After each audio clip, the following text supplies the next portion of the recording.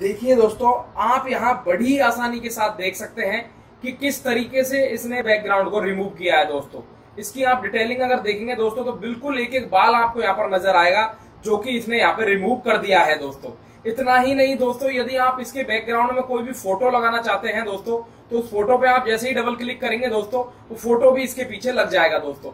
इसी के साथ इस फ़ोटो को यदि आप दोस्तों मान लीजिए ब्लर करना चाहते हैं बैकग्राउंड के को तो यहाँ पर अलग अलग तरीके से ब्लरिंग की ऑप्शन दी गई है दोस्तों आपको। आप यहाँ देख सकते हैं कितनी शानदार तरीके से इसने फ़ोटो को बैकग्राउंड को रिमूव करके दोस्तों उसके पीछे ब्लरिंग का काम किया है दोस्तों। अब एक चीज़ और मैं आपको बताना चाहूँगा कि अगर आप यहाँ अपना कोई दूसरा फ़ोटो भी इसके पीछे लगाना चाहे दोस्तों तो उसके लिए भी आपको ये सेलेक्ट फ़ोटो का ऑप्शन यहाँ पर दिया गया है। यदि आपको कलर लगाना चाहे दोस्तों तो कलर लगाने के ऑप्शन भी आपको यहाँ पर दिए गए हैं और बड़ी आसानी के साथ आप कलर लगा सकते हैं दोस्तों और इन कलरों को आप ब्लर भी कर सकते हैं दोस्तों। समझ गए आप मेरी बात को? कि जो भी फ़ोटो आप ले, उसको बड़ी आसानी के साथ बैकग्राउंड को रिमूव करके आप लोगों को ये देने वाला है दोस्तों।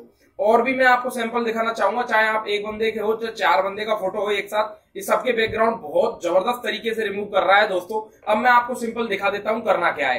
दोस्तों, आपको करना कुछ नहीं है। गूगल पे जाके रिमूव बग नाम से रिमूव बीजी नाम से सर्च करना है। सर्च करते ही जो सबसे पहले ऊपर की वेबसाइट खुलेगी रिमूव बैकग्राउंड वाली दोस्तों, उस पर क्लिक कर देना है। उस पर क्लिक करते ही आपको बोलेगा अपलोड इमेज आपको इमेज अपलोड करने के लिए बोलेगा दोस्तों, और आप जैसे ही इमेज को अपलोड करेंगे, अपने पीसी या अपने मोबाइल में से पकड़कर, और जैसे ही इसको अपलोड करेंगे, ये दो चार पाँच सेकंड का समय लेगा, ज़्यादा से ज़्यादा दोस्तों, और आपका जो बैकग्राउंड है उसको एक ही सेकंड के अंदर विद इन सेकंड के अंदर ये इसको रिमूव कर देगा दोस्तों।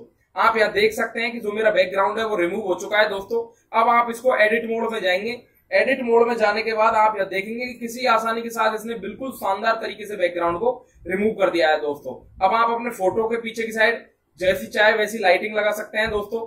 लाइटिंग को ब्लर कर सकते हैं दोस्तों। और कुछ भी नहीं करे तो इसके बाद इसको आप डाउनलोड भी कर सकते हैं दोस्तों। इसको डाउनलोड करने के लिए आपको सिंपली डाउनलोड पे क्लिक कर देना है। और ये बोल रहा है प्रिपेयरिंग इमेज और डाउनलोड इमेज आ गई दोस्तों। आप यहाँ देखेंगे कि आपकी जो इमेज थी दोस्तों, वो डाउनलोड होके आ चुकी है दोस्तों। यदि आप चाहते हैं कि इस इमेज को मैं विदाउट बैकग्राउंड डाउनलोड करूँ, यानी कि पीएनजी फ़ाइल की तरह करूँ तो भी सिंपल आपको यहाँ देखिए बैक जाने के लिए यहाँ ऊपर अंडू का बटन दिया है। अब आपको इस तरीके से जब ये बैकग्राउंड आ जाए दोस्तों तो नीचे आपको इसको डाउनलोड पे क्लिक कर देना है दोस्तों और डाउनलोड इमेज पे क्लिक कर देना है। ये आपकी इमेज डाउनलोड हो चुकी है दोस्तों और आप देखेंगे आपकी इमेज का जो बैकग्राउंड है वो बड़ी आसानी के साथ अच्छे ढंग से हट चुका है दोस्तों।